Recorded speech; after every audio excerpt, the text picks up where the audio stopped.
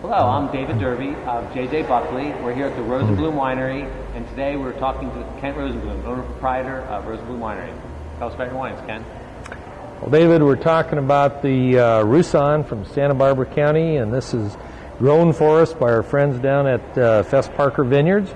They've planted a special little block of exotic uh, Roussanne from a great clone, and it's uh, grown with a vertical trellis system. It's uh, pruned uh, sparsely, and when it's ripe, uh, we get it picked. They actually crush the grapes for us.